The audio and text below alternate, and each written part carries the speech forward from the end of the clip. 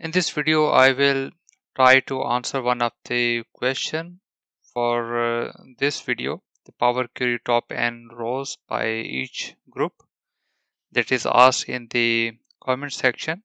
Is saying that how can I get the top 6 from one subcategory, the top 3 from another and top 7 from the uh, other category.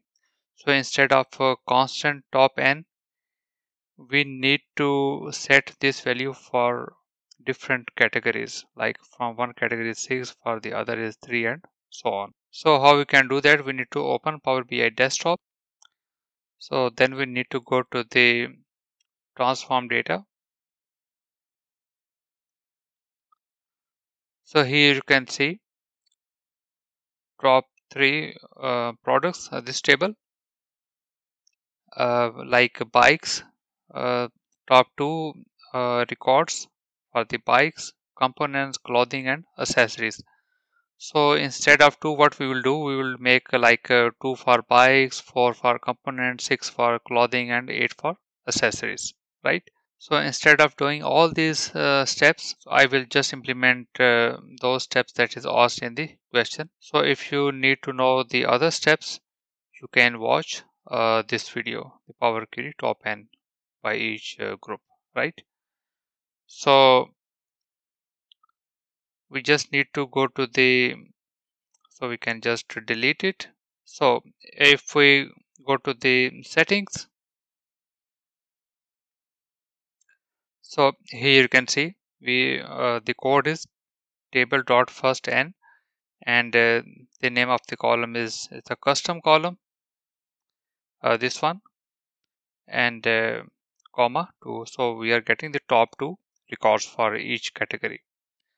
So what we have to do now, we just need to write uh, if condition, if the name of the column is English product category name is equal to bikes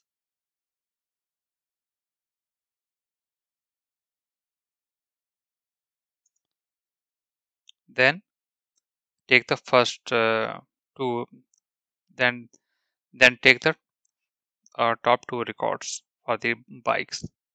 Else if english product category name is equal to uh, components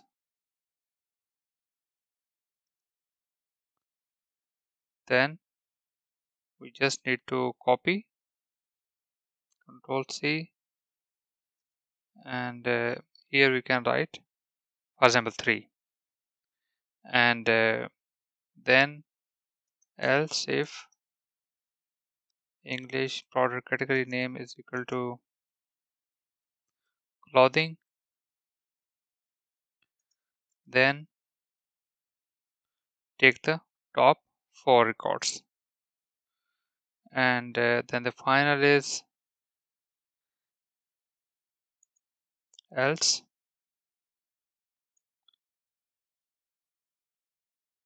Or we can just write here else um, take the five records this one that's all right?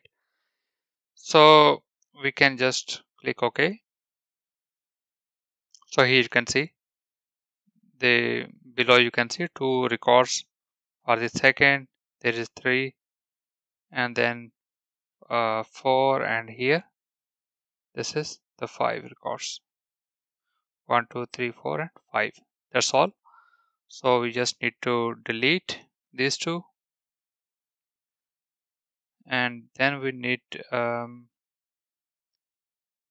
we don't need English product category name subcategory name and the custom these two columns.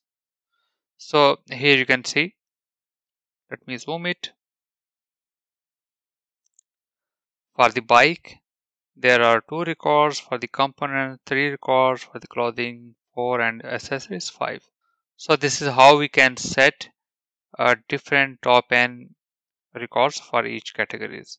So if you like this video, please subscribe our channel and uh, if you have any question, please write in the comment section. Thank you.